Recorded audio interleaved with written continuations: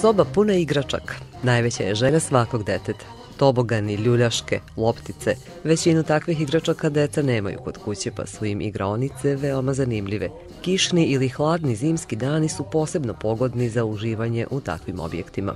Ne samo deca, i roditelji vole igraonice, gde oni nakon napornog dana mogu da odmore dok im se deca igraju, a koliko mogu sebi to da priušte. Ovde smo često, bar jednom nedeljno, Pa ovu igranicu može da priušti i ovde se lepo izigramo i suprug i ja se uvek odmorimo. Ne dolazimo baš tako često, dolazimo jednom mesečno, eto, kad bude plata pa da se počastimo. Ne dolaze često deca. Deca koje dolaze često to su ono po sat vremena, dva sata i to je to najviše.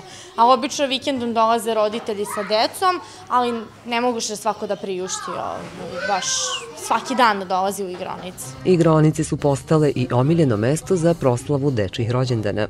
Skoro svaki dan imamo rođendan, bar po jedan, dva, vikendom imamo po dva, tri. Za razliku od dnevnog boravka deteta u igronici, rođendansko slavlje već nije zanemarljiva stavka u kućnom budžetu i taj finansijski izdatak ne mogu baš svi da priušte, pa su deca neretkom izložena podsmevanju svojih vršnjaka. Prvo se da, govore, jao ti nikad nisi bio u igronici, ti, tebe mama i tata ne dovode, ti ne znaš kako da se ponaša u igronici, e, vi to nemate kući, ili ako donesu neku pušnu igračku, ti to nemaš kući i tako da primeti se ta neka ljubomora među decom.